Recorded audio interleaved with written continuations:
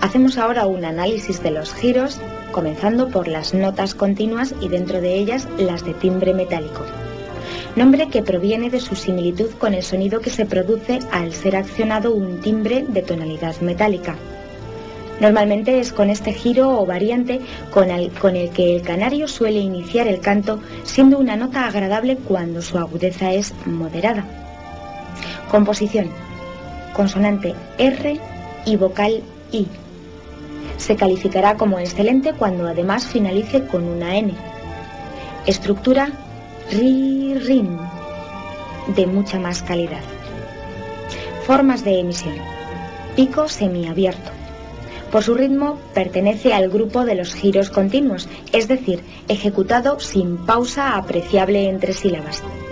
Por su movimiento es de forma recta u horizontal, aunque en ocasiones se aprecia un sentido ascendente o descendente por cambios de altura en el transcurso de la emisión. Orden de méritos.